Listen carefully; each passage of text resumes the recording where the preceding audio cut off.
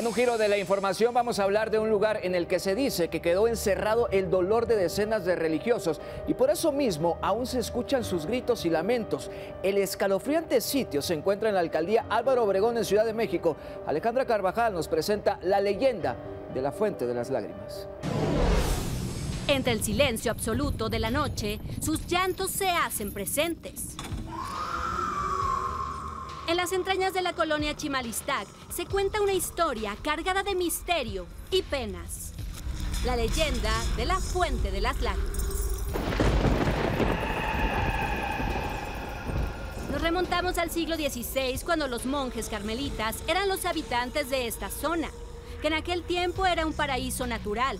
Estos monjes vivían aislados y con votos de silencio, se dice que en medio de la desesperación venían a desahogar sus penas en esta fuente. Y por muchos años sus lágrimas se mezclaron con el agua que se hizo cada vez más turbia. Pese que han pasado ya muchos años de aquel acontecimiento, cuenta la leyenda que justo aquí, al caer la noche muy cerca de la fuente, aún se escuchan los llantos de aquellos hombres que aún quizá piden justicia. En compañía de Ali, nuestra experta en energías, recorrimos este sitio al dar la medianoche. El agua se llevaba todas estas emociones. Ya no hay agua, solamente está la fuente, la construcción. Y eso puede estar provocando que estos llantos se escuchen aún más. La gente que logra escuchar estos llantos pudieran estar recibiendo energía también de cierre de ciclos. Mientras Sally realizaba un ritual de luz, tomé algunas fotografías. En persona no se ve y aquí hay algo blanco atrás. Preste atención, vea cómo una silueta blanca se logró captar. ¿Será acaso el alma de alguno de estos monjes que sigue vagando? Y las leyendas permanecen mucho más que una verdad. Al extremo, Alejandra Carvajal. Un lugar que sin duda encierra misterio y una energía que se hace presente mediante las llamadas psicofonías o ruidos extraños provenientes de seres del más allá. Y aquí está con nosotros Cari Nova, bienvenida. Hola, Cari. Un gusto estar con ustedes, chicas, y con mis queridos extremos. Érase una vez dos pequeños que dejaron el alma en una cancha de básquetbol y que le dieron la vuelta al mundo por jugar descalzos ese deporte. Es más, hasta llegaron a jugar casual con sus ídolos de la NBA. Pero ¿qué fue de ellos? Esta es su historia extrema. ¿Se acuerdan de ellos? Son los famosos niños triqui. En el año 2013, el grupo indígena originario de una de las comunidades más humildes de Oaxaca captó la atención de los reflectores a nivel mundial por su manera de jugar básquetbol, descalzos, sin tener la estatura promedio y aún así ganaron torneos en Estados Unidos, Latinoamérica y Europa, convirtiéndose en todos unos campeones, de, orgullo nacional. Pero, ¿qué será de aquel equipo de la Academia de Baloncesto Indígena México?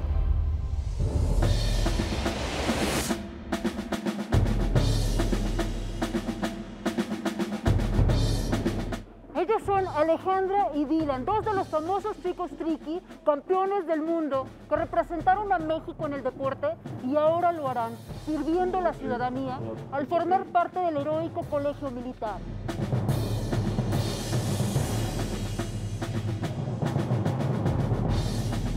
En el momento dar lo mejor de nosotros, pero si un día toca morir por la patria, nosotros lo haremos porque para eso estamos, para servir a México. Tengo esa idea de que lo estamos haciendo por un bien, que es ayudar a México, ayudar a, la población mexicana, a nuestros hermanos, familias.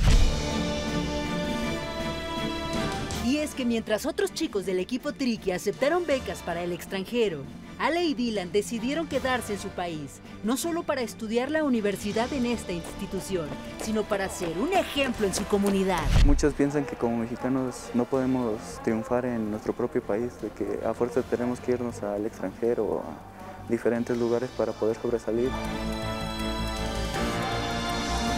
Aquellos pequeños Tricky ahora vuelan más alto y buscan que ya no solo en el deporte se materialicen sus sueños. Ir ascendiendo hasta donde Dios me lo permita, representar a México como se merece, con, con honor, con valor, con lealtad, con disciplina. Sigo teniendo los mismos sueños cuando era pequeño.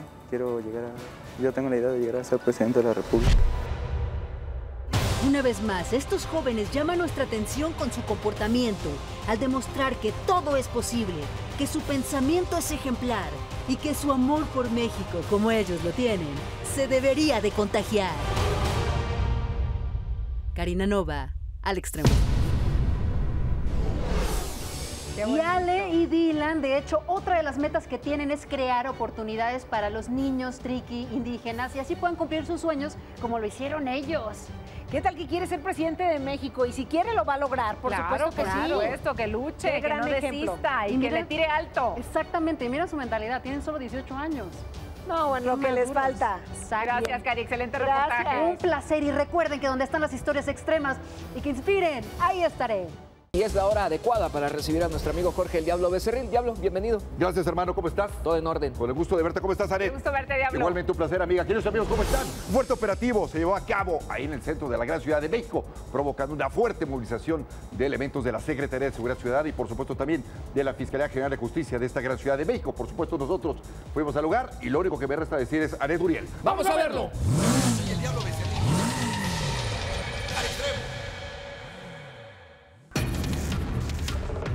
Al menos 100 efectivos de la Secretaría de Seguridad Ciudadana realizaron un operativo en conjunto con personal del GERI de la Fiscalía de la Ciudad de México. Los efectivos arribaron a las calles de Colombia y Argentina con una orden de cateo. Los elementos de la Fiscalía General de Justicia de la Ciudad de México, el GERI, gente de la Secretaría de Seguridad Ciudadana, están cateando un inmueble, Argentina y Colombia, en el centro de la Ciudad de México, muy cerca de la Morelos.